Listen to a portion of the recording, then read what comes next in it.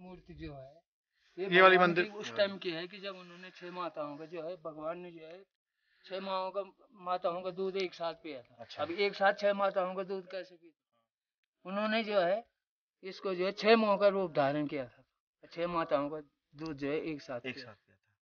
तो ये छह मुँह है हाँ छह मुँह है छह हाथ छह हाथ है। हाँ ये विराट रूप दिखाया था जब विराट रूप दिखाया था और ये जो है ये सेनापति हैं। सेनापति हैं देव सेनापति देव थे जब- सेनापति जब ताड़कासुर का वध किया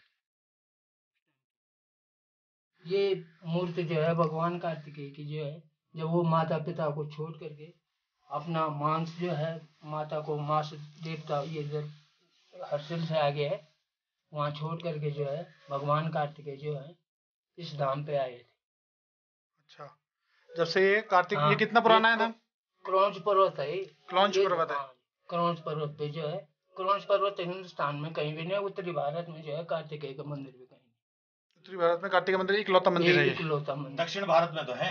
दक्षिण में है। दक्षिण में कार्तिक बहुत पूजे हाँ, जाते हैं। हाँ। तो ये यहाँ पे कब कितने टाइम से है मंदिर?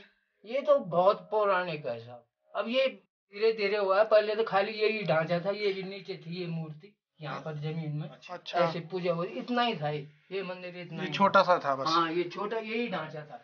अच्छा ये ये मंदिर था सफ़ेद सफ़ेद। कुछ नहीं था इतने का रास्ता था ग्यारह दिन का महायज्ञ होते हैं जून में। जून। वो जो पीछे व्यास गद्दी है उस पर फिर व्यास जी आके हाँ। ग्यारह दिन यहीं रहते हैं। यहीं रहते वहाँ पे जो है वो तो उस टाइम तो बहुत भीड़ आती होगी अठारह शिव पुराण का आयोजन होता है। अट्ठारह शिव पुराण का आयोजन किया जाता है तो उस टाइम तो काफ़ी भीड़ आती होगी भीड़ क्या चतुर्दशी को जो कार्तिक पूर्णिमा और बैकुंठ हाँ, चतुर्दशी।